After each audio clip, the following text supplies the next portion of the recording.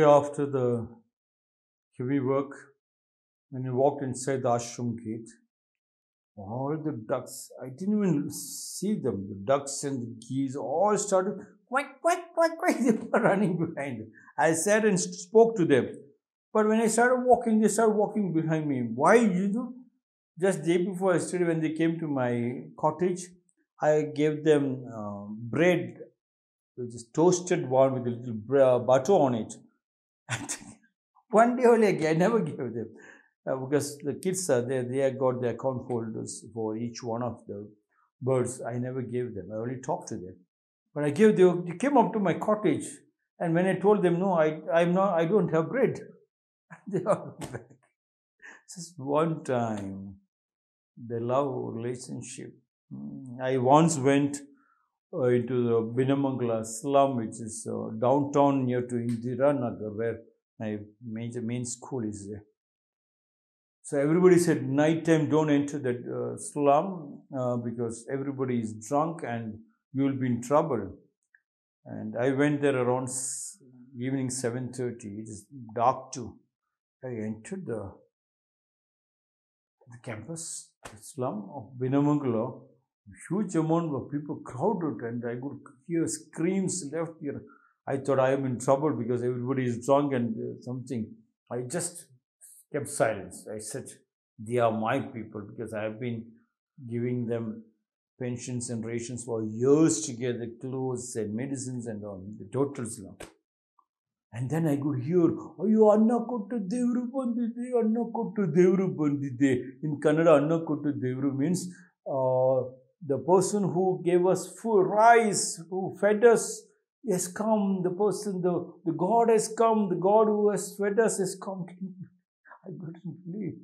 People say, animals, you feed them, they, they are so thankful, but not human beings. But here you can find only gods in, in varieties of form. They might be very poor, but look at the heart. When the fight is different. But when I went into their temple, that the Binamangala slum, they were screaming, Anna Kuttu the God has come who has given us food. that is my land. My land is so beautiful with God's. Yes. Giovanni Agnelli, this is the second quote, said miracles can be made but only by sweating. The company, the Fiat company owner yes, said miracles, but only by sweat. That was what in our Karnataka state, in our Kannada language, there is a nudimuttu. It might be a little painful to tell, but the nudimuttu goes like that. Bevaru, bevaru, ಬಂದಿಲ್ಲ ಅಂದರೂ ninne bevarasi means if you don't sweat today on the day, people call you stupid. It's beverasi means it's very big, dirty language. Not that it's dirty language, they mean when you don't sweat, you're going to die. If you don't sweat, you created the first step of your disease first step of your laziness you must sweat it out because the fat starts entering into your body. No work no food not that ordinary work in karnataka they believe. Starting from the mahakavi pampa from that uh, Rashtrakavi Pampa, they, they, the, the slogan continues, ಬೇವರು ಬಂತಿಲ್ಲ ಅಂದ್ರೆ ನೀನು ಬೇವರಸಿ it is very this was a quote actually they they covered it up and locked it up somewhere it was me who dug it back and told the public if you don't sweat you have no right to enter the house. If you don't sweat you have no right to go to sleep. If you are not sweating then you have no right to eat food. Or even to open your mouth like how if you are not pure of practicing the samskriti you have no right to enter any temple. Giovanni Agnelli understood that one. The richest man of Italy, the owner of the Fiat car company, said miracles can be made but only by sweating. That was the miracle. That was the miracle our Hindu Shastra taught, the Yoga Shastra taught them. The first thing is Karma Yoga. Karma yoga means keep doing work without expecting results. And Japanese have put it exactly right into the table from the childhood. For four years of the children's training before they enter into the real school, they go to four years of culture training, Samskriti training. And what is the Samskriti training? Every child has been taught. If you use the toilet, you should make sure that another person should be able to use it. When you come out of the toilet, another person should be able to use it. Every child in Japan has been taught from childhood that they should clean the toilet. I do not know. And you're telling this, this they learn from India. But, but then why India need to have toilet cleaners? Why should they have, have housekeepers, HK, they call it HK, housekeepers made them to clean the toilet not just cleaning the toilet, it is like stainless steel. It is like not a dirt, pint of shit in a cup of vanilla, like that. Not a pint of dirt in that commode. In, even in the floor, not a water to be spilled out. The buckets are perfect to the core. Yes. Only then you can see miracle because when the toilet is clean, Japanese told me that your India gurus told them if the toilet is clean, you will not get any diseases. They practiced it. Then what went wrong with other parts of the world? What went wrong with India? Miracles can be made up only by sweating.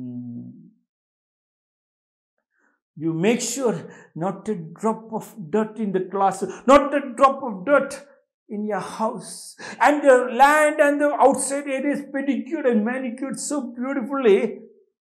That is the miracle. People look at them and they say, ah, like Sri Devi, our actress, the late Miss Sri Devi said, the face is very important, the presentation of the face. And wherever you go, you don't show your inner pain. It is the smile. And all the companies, all the companies have taken that one coat. Yes. It is almost like the book of the five rings, the big business, the Bible of the businessman. Here it goes no work, no food. The Japanese master has taught them that when all his tools were hidden away by his disciples because he was very, very old and head of the temple, monastery, they told him not to work, we will work for you. He refused. On the third day, they returned the tools and he went and worked and came back sweating, came back sweating like the tennis player. By, by one hour of playing, he removes at least three to four times his t-shirt and squeezes out the banian. Like the Kyokushin members, by the time they practice, they close all the windows and doors and then practice sweat after sweat. The dogi, they have to squeeze water. Just sometimes they cannot even wear the dogi. They have to remove the dog only on the pants. You have to, then the whole floor is full of sweat water. You don't need another water to clean the floor. So much sweat comes out. And that is a miracle they found. The Zen master, after working, sweating, he, he went and sat in the dining hall and he said, No work, no food. That means you must sweat. Please sweat not the gymnasium sweat. Stop your gymnasium. When my country is in pain, when my country people are living in poverty, how dare you go to the gymnasium? Your land, go to the land. Outside the house, in the drains, clean up the drains. Lift the stone. You feel muscle coming up. You see six packs coming up. You, when you sweat it out, you have the cleanliness next to godliness everywhere in your house and outside the house. And then you get the feeling that you have to connect to the joint family to go and see your family tree, which has got 500 acres, 1000 acres. You go and do a karma yoga without expect, keep doing work without expecting results. Giovanni Agnelli says miracles can be made, but only by sweating.